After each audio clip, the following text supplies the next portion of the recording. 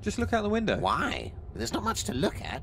It's just tree cloud, tree cloud, rock. Oh, rock. See, there you go. I don't like my window.